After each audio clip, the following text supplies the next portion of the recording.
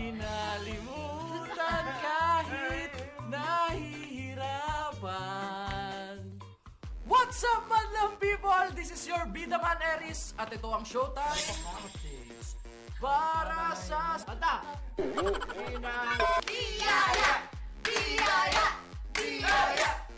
Ready, ready na kami para pumarty! At syempre, dapat may parigalong madlang people! Pag Christmas party, dapat may pa-contest. Sakto dahil napakatindi ng unang araw ng huling tapatan ng TNT All-Star Grand Dress Back.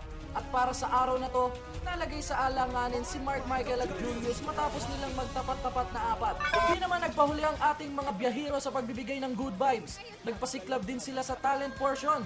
OF double wow talaga. At buwan naman ang overseas Filipino wonder ngayong linggo ay si Annalisa Pajardo. Yan!